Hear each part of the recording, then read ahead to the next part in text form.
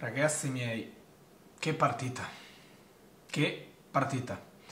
Lo so che è strano vedere sul primo canale di video post partita di altre squadre diverse dalla Juventus, ma ho pensato che una partita così importante non solo per la storia del calcio italiano, ma anche per la classifica effettivamente, potesse risultare piacevole per eh, chi mi segue, sia per i tifosi juventini e sia per quella parte di tifosi che non tifano Juve, ma che comunque sono sempre qua sul canale per eh, sentire tutte le mie opinioni sulla Juventus. Come sempre vi ricordo lo sponsor del canale qui sotto in descrizione, c'è la possibilità di scaricare OneFootball sui vostri cellulari, fatelo, è completamente gratuito, per rivedervi anche gli highlights, saranno infiniti, meno male, di questa partita veramente allucinante da quanto bella, OneFootball gratis da scaricare qui sotto in descrizione, che ci accompagnerà anche con qualche notizia anche inerente se vogliamo al calciomercato invernale dato che ci stiamo avvicinando e c'è la pausa nazionale. E poi per capire anche tanti infortunati magari anche dell'Inter di questa sera Bastoni, Barella che devono appunto aggregarsi alla nazionale italiana se ce la faranno o se ci saranno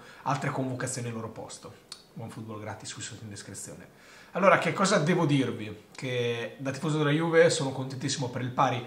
Ho tifato per il pari, nonostante nella mia testa ci fosse un altro risultato. Infatti, prima della partita avevo puntato, avevo fatto una schedina. Di solito non gioco mai, ma ci sono delle partite in particolare, magari delle serate in cui sul libro, come stasera, me la sono guardata, goduta sul divano con la pizza, con la birra, e avevo puntato, avevo segnato il 3-1 dell'Inter. Pensavo che questa sera potesse vincere l'Inter, potesse dare anche una scossa a questo campionato, invece l'Inter non va ad accorciare sul Milan, così come il Milan non va in fuga. Sul Napoli che aveva pareggiato pochissimi minuti prima in casa contro l'Ellas Verona, ancora una volta l'1-1 risultato un po' ricorrente per quanto riguarda Napoli e Verona negli ultimi tempi e se l'anno scorso avevamo goduto tantissimo per quell'1-1 quest'anno godicchiano, tra virgolette, i tifosi di Milan e Inter che vanno ad annullare, tra virgolette, questo pareggio nel derby. Una partita bella, combattuta, maschia, coraggiosa, devo dire la verità.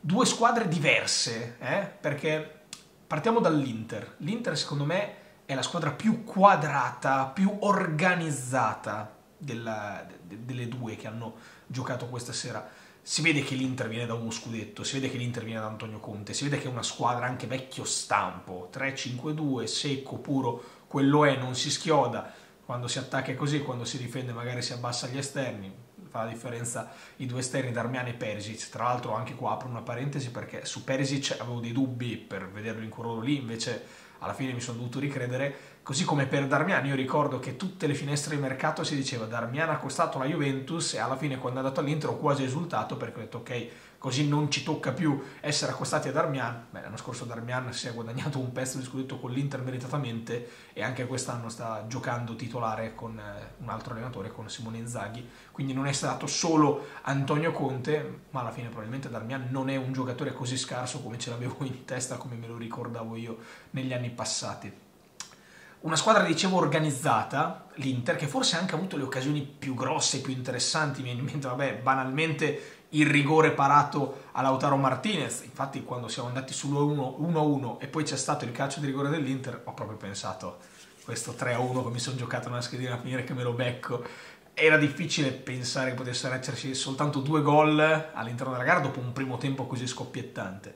Poi Lautaro sbaglia, para Tatarusanu e l'equilibrio rimane così fino all'ultimo secondo. Ma altre occasioni clamorose sono quella di Barella dopo la bella palla messa da Bastoni e anche qua mi viene a dire Bastoni forse l'anno scorso leggermente meglio rispetto, adesso non posso dire quello di quest'anno perché non ho visto tante partite dell'Inter, ma quello di stasera non mi è sembrato un Bastoni così solido come quello dell'anno scorso. Poi chiedo magari ai tifosi e supporter dell'Inter di farmi sapere quello che ne pensano a proposito qui sotto nei commenti. Un'altra occasione grandiosa è quella di Vidal appena entrato, che forse non è proprio entrato benissimo, lo dice uno lo conosce bene. Arturo solitamente in area quei palloni lì li butta dentro. Poi so che Vidal quest'anno si sta anche riprendendo, era anche in un buon momento.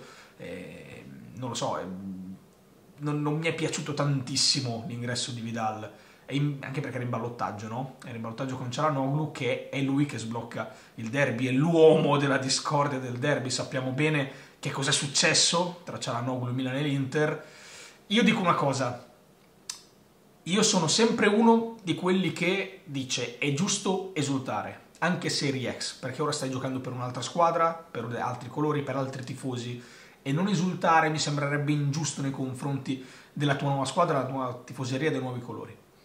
Però credo che ci debba essere anche grande rispetto per i vecchi colori. Eh, non mi è piaciuto tanto l'esultanza polemica di Cialanoglu, il voler procurare, voler tirare il rigore, sì, quello sì, essere protagonista, quello sì, l'esultanza sì ci sta, il eh, cercare di sentire i fischi, è certo che ti fischiano, è, è normale che ti fischiano, eri un giocatore importante per il Milan, sei andato ai rivali a parametro zero.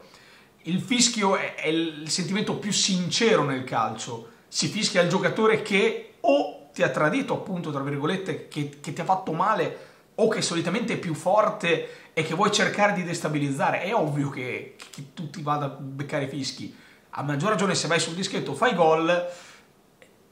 Va bene esultare, secondo me non è bellissimo esultare in maniera polemica nei confronti dei tifosi poi se c'è qualcosa a livello societario, allenatore, quello è un'altra storia, ma nei tifosi, i tifosi, tifosi sono il bello di questo sport. Io ve lo dico proprio tranquillamente, tifo Juventus e una grande cosa che invidio Milan e Inter è questo, il derby.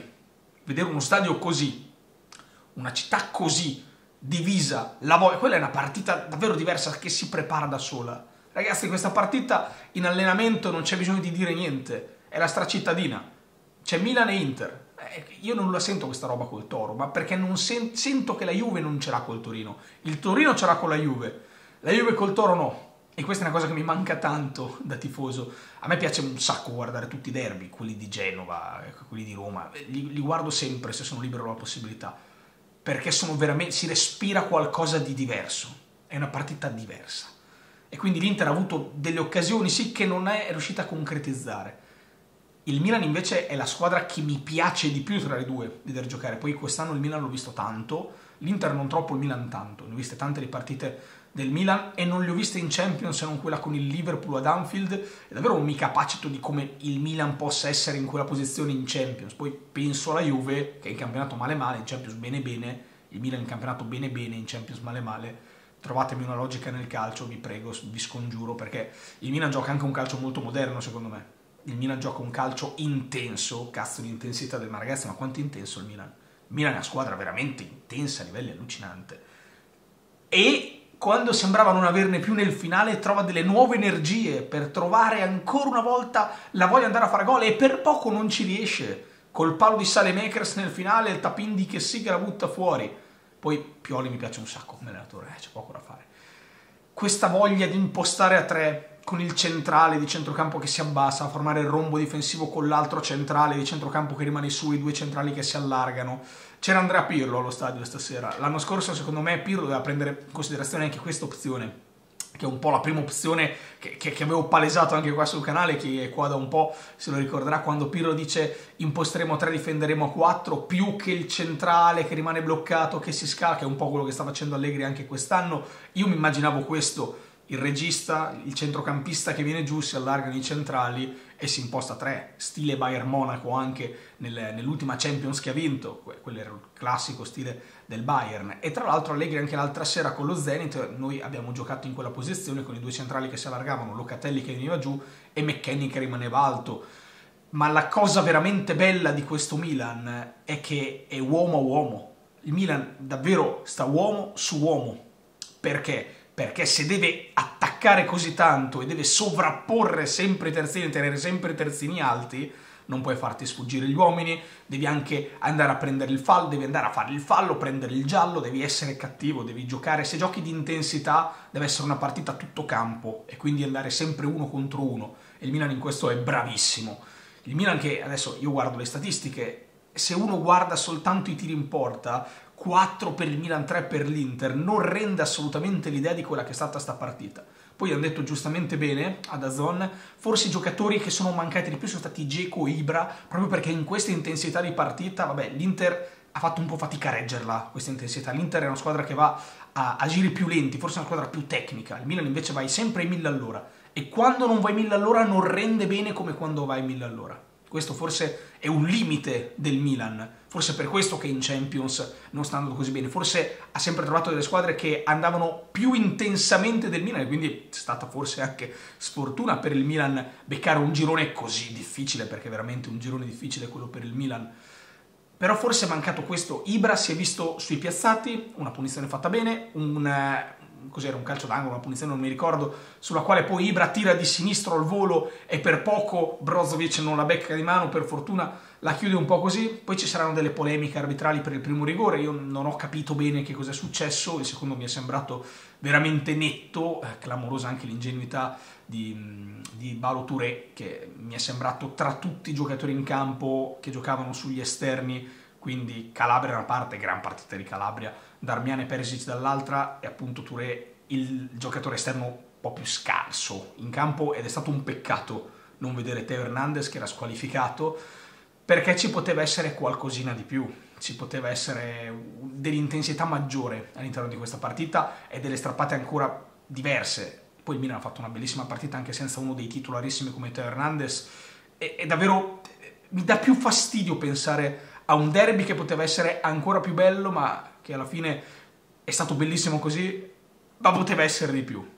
Io poi vado a letto contento perché c'è stato il pari, quindi se ci sono tre punti in palio e ne prendono una testa vuol dire che uno viene messo da parte eh, e quindi noi abbiamo rosicchiato qualche punto sia al Milan che all'Inter questa giornata. Poi sappiamo, noi non dobbiamo fare la corsa sullo scudetto, però il campionato è lungo e qualcuna delle due squadre potrebbe rallentare e quindi quei punti che ad oggi sono da scudetto domani potrebbero diventare punti importanti appunto per la corsa Champions. Fatemi sapere un po' le vostre considerazioni qui sotto nei commenti, fatemi sapere se vi è piaciuto anche un video diverso da quello inerente, classico alla Juventus e se questi post partita di partite importanti in Serie A possono farvi piacere anche in futuro.